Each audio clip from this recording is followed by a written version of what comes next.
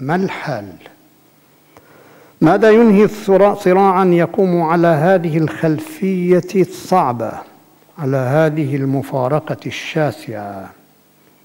هناك صورة للحل تنقذ الجميع وتؤتي ثمارا طيبة فضلا عن إنهائها للصراع المرير.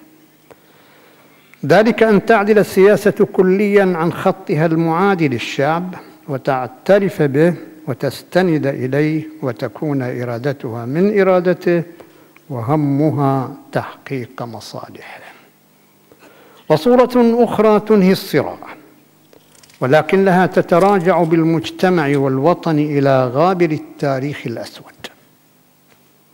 بل إلى مستوى حياة الحيوان وذلك بأن يتنازل الشعب عن حريته وكرامته وكل حقوقه حتى اللقمة ويسلم أمر التصرف في النفس في النفس والمال والحاضر والمصير إلى جهة واحدة معينة اسمها السلطة. لا فصل اليوم ولا غدا بين الحراك الشعبي وبقاء الرموز من قادة المعارضة وغيرهم من السجناء السياسيين المشاركين في هذا الحراك. بالغ ما بلغوا في سجونهم. السجون لن تفرغ ما دام الحراك والمطالبة بالحقوق قائمة فما من سبب للسجن إلا هذه المطالبة التي يراد له يراد لها من قبل السلطة أن تختفي ولا ينطق بها لسان ولا ينطق ولا ينطق بها لسان.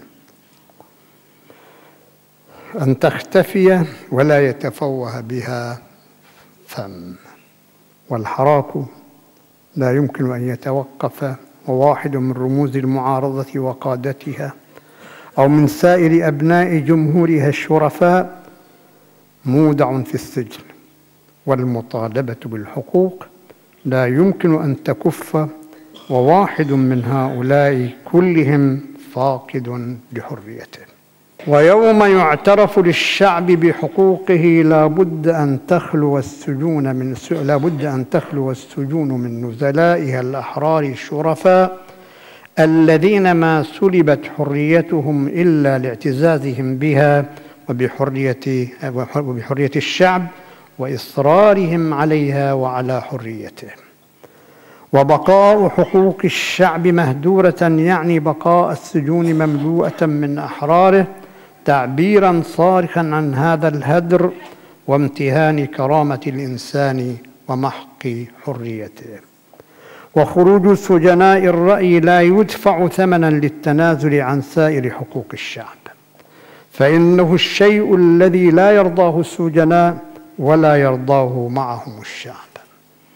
هذا من جهة هذا من جهة ومن جهة أخرى لا يمكن أن يصدق لا يمكن أن يصدق أن الشعب استرد حقوقه والسجون تمتلئ ببنيه وبناته ولا أن يبقى واحد أو أن أو أن واحدا من أبناء الشعب يرزح في العبودية تحت وطأة العبودية. وستظل المطالبة بالحقوق وتفريغ السجون من أبناء الشعب الأحرار مشغلة هذا الشعب حتى يتم استنقاذ الحقوق واسترجاع السجناء لحريتهم المسلوبة. أما ما يأتي من تصريحات الدول والمنظمات الحقوقية في مناسبات متعددة من كلمات تدين تصرف السلطة والأحكام الجائرة في حق رموز الشعب وسجناء الرأي والتلاعب بقضية حقوق والتلاعب بقضية حقوق الإنسان وإدارة الظهر لمسألة الإصلاح فكل ما تعنيه أن هذه أن الجهات المحايدة وحتى عددا من الدول الصديقة للسلطة يجبرها الوضع الظالم الذي يعاني منه الشعب والمعاملة القاسية التي يواجه بها من السلطة على إدانتها ومطالبتها اعلاميا بالإصلاح من دون أن يمثل ذلك مقدمة منتجة منتجة للحل إما لأن الجهة المدينة والمطالبة للسلطة بالإصلاح لا تملك أكثر من ضغط الكلمة أو لأن لها موقفا عملية من القضية على خلاف مقتضى الحق ومصلحة الشعب تمليه مصلحتها المادية الخاصة. لا بد من قانون يقول بأن مشاركة في مسيرة أو اعتصام احتجاجي سلمي تستوجب السجن لعشر سنوات وأن الدعوة للمطالبة بالحقوق بالأساليب السلمية تصدر من قيادات للمعارضة عقوبتها السجن المؤبد أما القتل تحت التعذيب فأقصى عقوبة له السجن لسبع سنين في نظر قانون آخر. نحتاج إلى هذين القانونين حتى تفهم هذه فلسفة هذه الأحكام.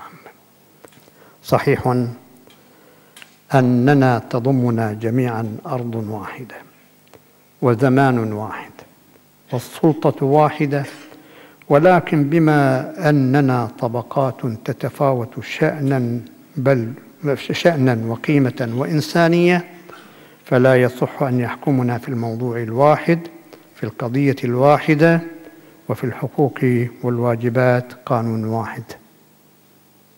فالحق كل الحق أن تتعدد القوانين التي تحكمنا رغم وحدة المكان والزمان والسلطة والموضوع الذي تقضي فيه هذه القوانين. نعم بعد أن صنفنا طبقات لا بد أن تتعدد القوانين التي تحكم.